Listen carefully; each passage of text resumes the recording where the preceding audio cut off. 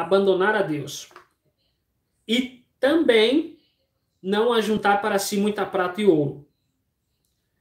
Versículo 18. Quando o rei começar a governar, mandará fazer uma cópia da lei de Deus, que está no livro guardado pelos sacerdotes e levitas. E ele deverá ficar com essa cópia, e todos os dias da sua vida lerá a lei, para que aprenda a temer ao Senhor nosso Deus, e para que sempre obedeça fielmente a todas as leis e a todos os mandamentos.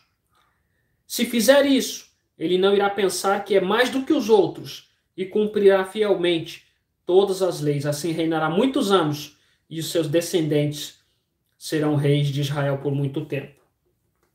Amém? Então, temos aqui Deuteronômio, capítulo 17, versículo 17, versículo 18, versículo 19 e versículo 20, nos falando que o rei tem que ler né? Deverá ficar com uma, uma, também uma cópia, a cópia vai ser distribuída, né? Vai ser feito cópias do livro. Hoje temos muitas cópias da Sagrada Escritura, não? E, já compartilhei aqui de, de, de perseguições e coisa e tal, que as pessoas têm que esconder folhas. Ou então, como está em Salmo 119, a tua palavra escondi no meu coração para não pecar contra ti. Ou seja, devemos de memorizar, de guardar para quando não tiver mais nenhuma cópia. Para quando a, a, a, gente for jogado num calabouço, numa prisão, sofrer as perseguições, as coisas. Então, precisamos memorizar. Nesse texto bíblico fala que o rei tem que ler todos os dias. Todos os dias. Amém?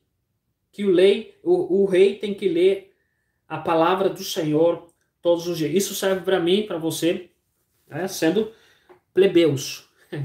Aqui fala dos deveres do rei. Deuteronômio capítulo 17, versículo 17, e eu li até o versículo 20.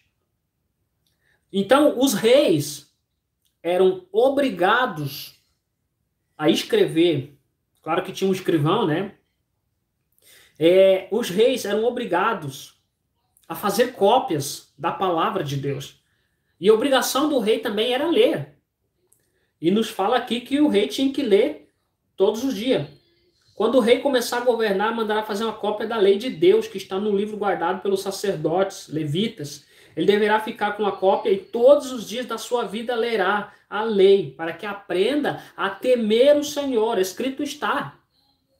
Então, os reis eram obrigados a, a, a mandar fazer cópias e também a ler.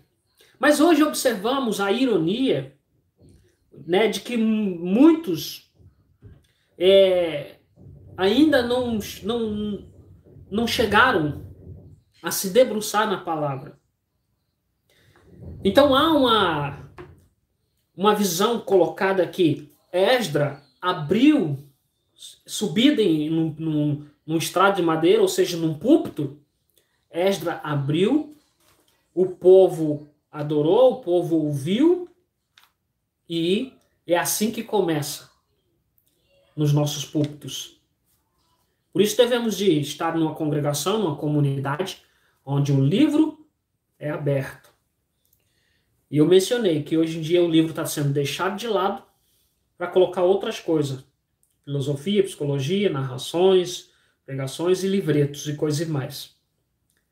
Então, e observamos que muitos naquela época, de que Esdra abriu o livro, podemos colocar como observação, que eram analfabetos, né, que não tinham conhecimento de leitura ou coisa tal.